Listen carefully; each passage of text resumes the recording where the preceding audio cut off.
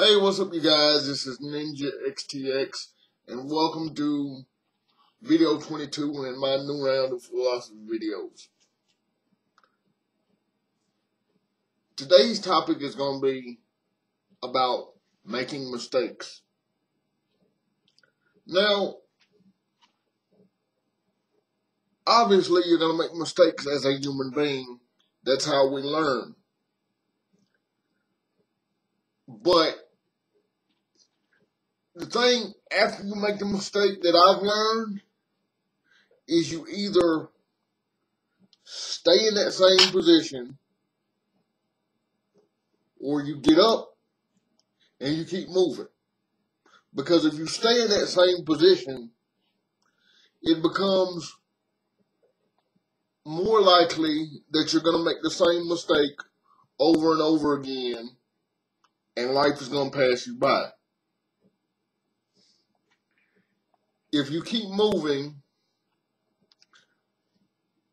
after you made the mistake and learn from it, if you keep moving, you experience life and you appreciate life more.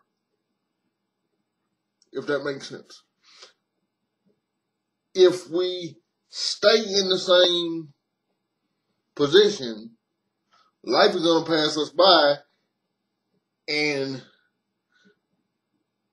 by the time it's over, it's going to be like, oh, well, damn, I should have gone back and did this or seen this happen, but my time is done. Think about that, ladies and gentlemen. What I want you guys to think about and take away from this video is when you make a mistake, you got to get up and keep moving. Just that's the best thing to do. Learn from it, get up, and keep moving. Hope that made sense to you guys. Hope that touched somebody's heart and somebody's spirit. Peace, take care of yourselves and each other. One world, one love. If you have any questions, comments, or requests, please send them to my YouTube account. Or if you know how to get in touch with me on Facebook, please send them to my Facebook account. Thank y'all. Love y'all. Bye-bye.